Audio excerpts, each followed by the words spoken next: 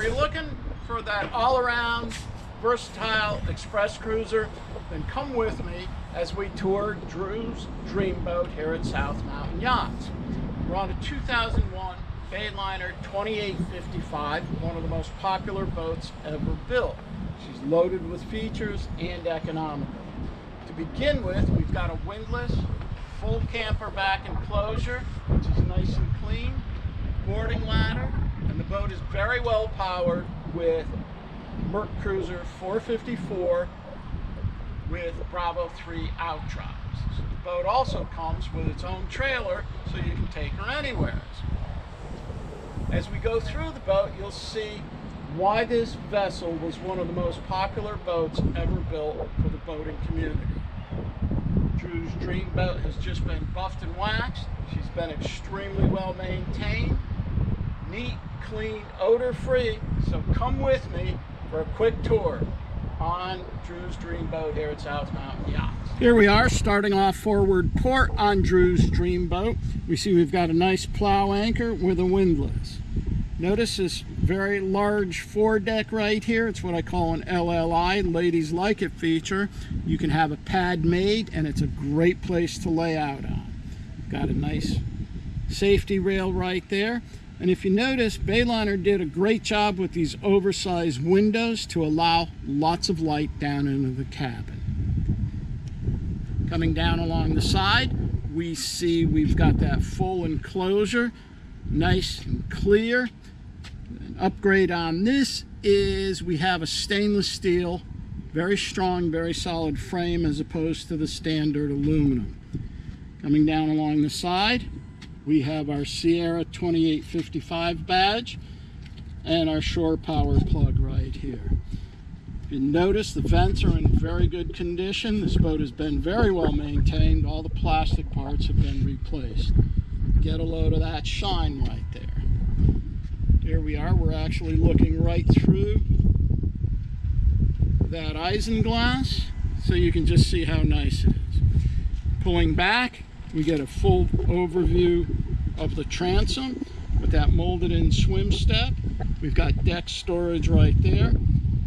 On top of the radar arch, we have our digital antenna, JRC radar, and a GPS antenna right there along with the VHF.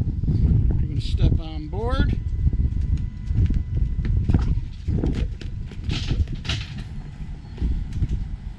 We enter the vessel through this starboard door right here and immediately to our left we see the transom seat. We've got storage underneath. In-deck table mount right there.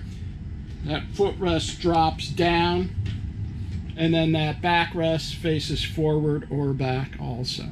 Now this transom seat can be folded up flat up against the bulkhead and used as a coaming pad and that gives you that much more space here. Circling around, we've got storage right there. Up one step and we're at the helm right there. We've got our stainless steel ship's wheel. Below we have our VHF radio, 110 outlet, multiple switches right here. We've got our JRC radar, autopilot, yep, we've got an autopilot on her. That's what this Raymarine unit is right here. And our depth finder. Up above, our operational engine gauges and our compass. Now as we circle around, we see our port side fore and aft facing chaise seating right there so folks can go either direction right next to the driver or behind. Now engine access is nice and easy right up through this hatch. The owner has upgraded the struts on that so they're heavy duty and oversized to make lifting a little bit. As you can see, we have a nice big hatch there to allow easy access. We've got this 454 right in front of us. Start. And we're going to do a cold start on this.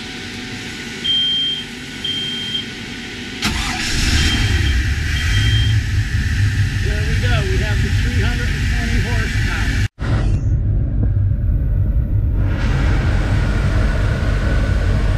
Okay, go ahead and shut it off.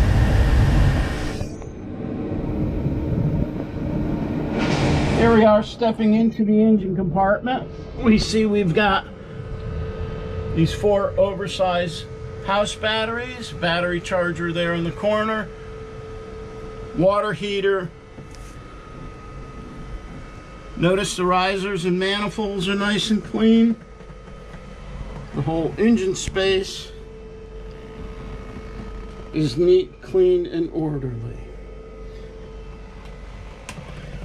This is one of the few 2855s out there with the large 7.4 MPI engine. To access the bow, we use these molded in steps, step, step,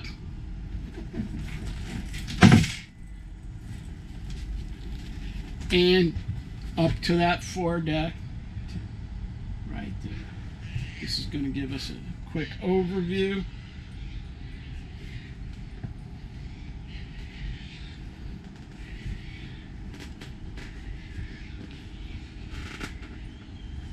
We enter the cabin through the center line bifold door and down a few steps. This is going to give us an overview of the whole cabin right here.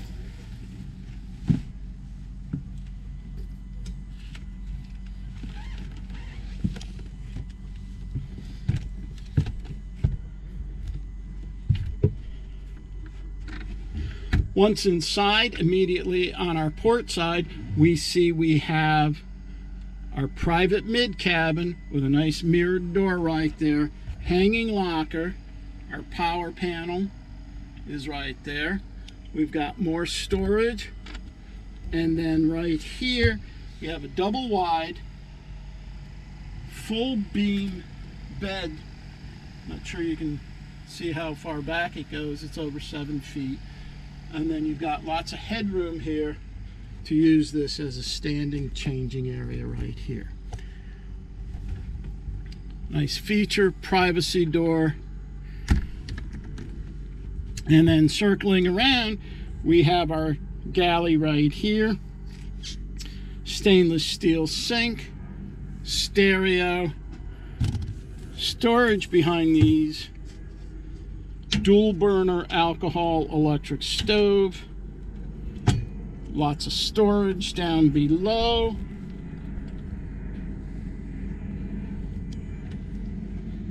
This is a nice touch right here. We have built-in drawers. Moving forward there's our microwave. We've got a nice little jump seat right here and then our forward V berth. Now that's over seven feet long and as wide as the beam of the boat. You do have some gunnel storage, nice hatch right there, forward access to the anchor locker. Now this flat screen TV is included along with the fans to move the air around in here if you don't want to keep the windows open. There is a privacy curtain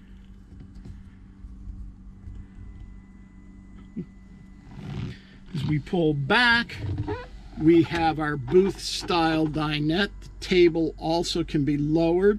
There's a lip there, and that could be used as yet another sleeping area. Notice how bright the cabin is with those nice slash windows with curtains. Underneath the seats, there is additional storage, and same thing, there's our refrigerator. Everybody wants to know where it is. And then there's more storage up under here. This boat has some nice personal touches in it, which makes it nice and homey. So as we go further back, yep, there it is. We have a fully lined fiberglass head, easy to care for, easy to clean. We do have the marine toilet and everyone is always curious as to like a shower just pull out the shower wand hook it up there, and you're good to go. Everything will drain into the floor and then overboard. Dru's Dreamboat also includes a 1700 watt inverter so you can use power all weekend when you're out and about without being concerned. She's neat, clean, odor free, well maintained, comes with a trailer, so she's ready to go. Viewer today, owner tomorrow at South Mountain Yachts.